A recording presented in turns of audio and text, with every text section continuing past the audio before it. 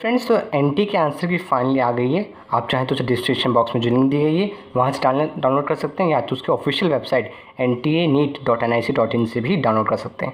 जो doubtful question था some dividing cells exit the cell cycle in enter vegetative inactive phase this is called question stage G not this process occurs at the end of तो इसका जो according to N और जो according to N T जो अभी आज answer की आई है उसके अकॉर्डिंग इसका आंसर है जीवन फ़ेज़ बट कुछ कोचिंग इंस्टीट्यूट्स ने इसका आंसर एम फ़ेज़ दिया था।